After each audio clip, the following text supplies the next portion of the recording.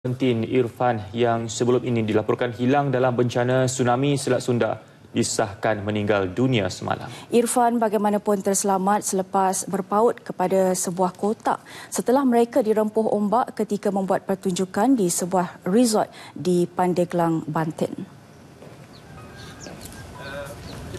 Kematian Dylan Sahara itu disahkan menerusi laman Instagram Irfan semalam. Jenazah Dylan dibawa ke Ponorogo, Jawa Timur untuk dikebumikan. Anggota lain kumpulan 17 yang turut terkorban ialah Bani dan Herman, manakala seorang lagi ahli, Andy, masih belum ditemui.